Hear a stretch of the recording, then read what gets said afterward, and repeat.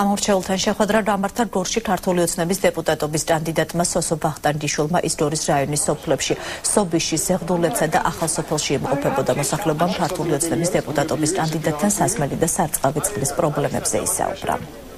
აი ეს აი რაც შიმშილობა არის ჩვენ სოფელში კი არა ყველა წყალი არ არის თუ კი რამე მოყავს ხო? ამაზე აი ახლა წყალი რო არ არის ის ბუჭდება.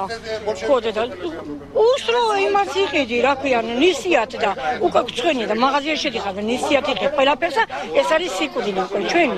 ქართული ხარჯი ქართლის ალბათ ყველა სოფელი არის ერთ და იგივე პრობლემის წინაშე დამდგარი ეს არის აა სარწყავი წყლის და სასმელი წყლის უქონლობა და გლეხკაც როდესაც სარწყავი წყალი არ აქვს მისი სოფელში ცხოვრება აზრს კარგავს. ამიტომ თელი სოფელი დგას ფეხზე და 1 ოქტომბერს ბიძინა ივანიშვილის და კოალიცია ქართულ უძნებას აძლევს მას იმ იმედით რომ ამ სოფელში დაბრუნების ღირსეული ცხოვრების და სიკეთის დრო დაბრუნდეს